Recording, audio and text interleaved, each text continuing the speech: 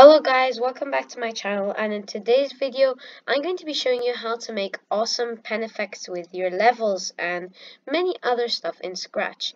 So if you really want to see how to do this then don't forget to like, subscribe and share and let's get on with the video. So let's say you have a level over here. So I'm just going to quickly design one say part of a platformer. I might be doing a platformer tutorial lately.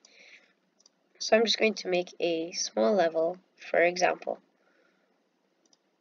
with some shapes, ceiling, anything you'd expect. And then I'm going to set the backdrops to this nice bluish color. Oh, that seems a bit too blue. Yeah, that seems good. So now let's go to this sprite and let's call it level, as you've probably already called it. Now, to make a shadow, basically, you need to open this extensions, and this would be very useful, the pen extension. So, put a when green flag is clicked, and in the pen, put an erase all, and make a new block named stamp shadow with add an input for number and, number and text, and call this amount and then press the run without screen refresh, which is very important, and press OK. So put this somewhere else for now, and let's put the number, say, 8 under stamp shadow, which makes it pretty accurate. And then, basically, let's set our brightness effect to minus 100, which means everything becomes black. So, now the entire screen would become black. Let's then set ghost effect to 90, which would make it a very light shade of gray. And then, after that, we'd like to change Y by, say, minus 20. Then the stamp leaves it on the screen. So you'll have a shadow on the screen. Then we can change Y by 20 to go back up to the normal position and then clear graphic effects, which means everything will be back to normal, but a stamped version of the level will be on screen. And as you can see, a shadow has appeared, which looks really cool, but it's still not enough.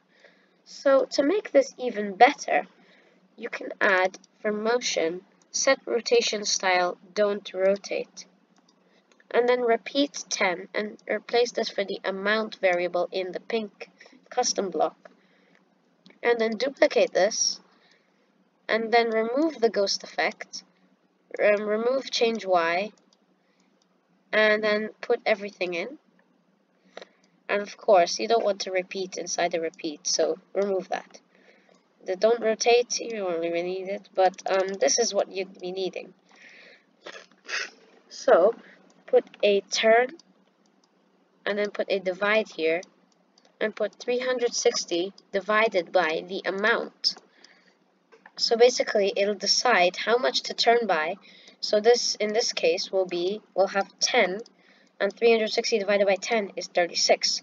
So every time it'll keep turning by 36 degrees. So it's a perfect calculator. And then over here put a move 3 steps and over here put a mi move minus 3 steps.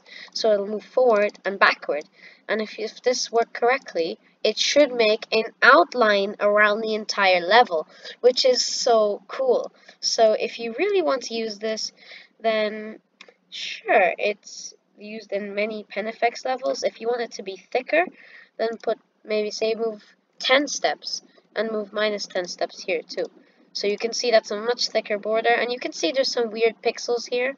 If you want to fix that, then simply just increase this number to say 100 and it'll be more accurate. So you can see now it's smoothed out a lot.